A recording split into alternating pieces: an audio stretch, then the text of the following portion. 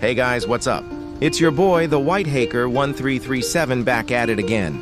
Today, I'm gonna show you how to snag that trial and error badge in Doors. Let's dive in.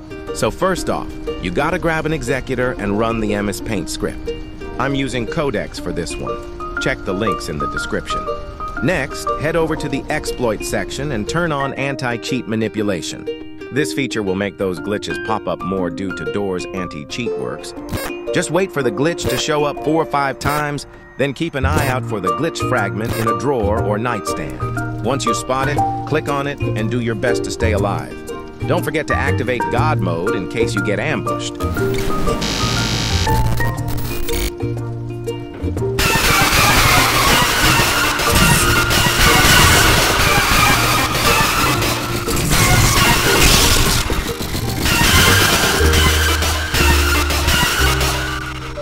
Easy peasy, right? I managed to survive a bunch of craziness. Must be my lucky day. Ha ha. And that's how you snag that badge. Hope you enjoyed the video. Drop a like, comment, and subscribe. Hit that notification bell so you don't miss a thing. I'm Mr. The White Haker 337. I'll catch you in the next video. Peace out.